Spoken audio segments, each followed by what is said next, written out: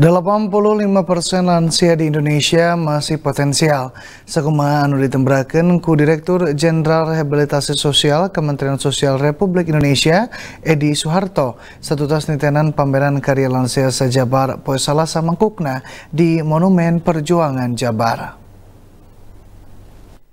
Direktur Jenderal Rehabilitasi Sosial Kementerian Sosial Republik Indonesia Edi Suharto ngecesgen 80% lansia di Indonesia masih potensial. Sakumaha anu ditembrakeun ku satu tas nitenan pameran hasil karya lansia sajabar poe salah samangkukna di Monumen Perjuangan Jabar. Masih cek Edi ukur 15% lansia di Indonesia anu merlukeun bantuan. Dirina boga karep mere panyumanget. Yang lansia Indonesia boga potensi anu leuwih gede. Luyu kana jejer mi eling hari lanjut usia nasional kiwari nyaeta lansia mandiri dan bermartabat.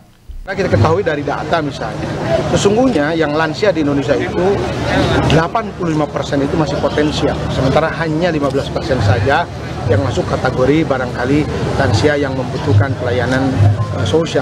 Oleh karena itu, kita berharap dengan halun ini memberikan motivasi, penguatan kepada para lansia bahwa kita punya potensi yang sesungguhnya jauh lebih besar daripada barangkali lansia-lansia yang memerlukan uh, apa namanya bantuan. Pikeun ngarojong lansia di Indonesia Kementerian Sosial ngokolakeun program bantu lansia, terapi, sosial care, jeung family support.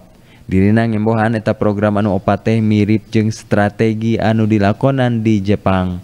Dirina oge ngapresiasi karena programnya ah kakolot anu dikokolakeun di Jawa Barat.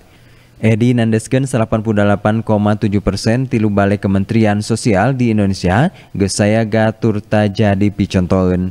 Pangna kitu eta balai anu tilu teh nampa platform secara kontekstual turta geus dicawisan waragan pikeun ngaweweganana. Budi Hartati, Bandung TV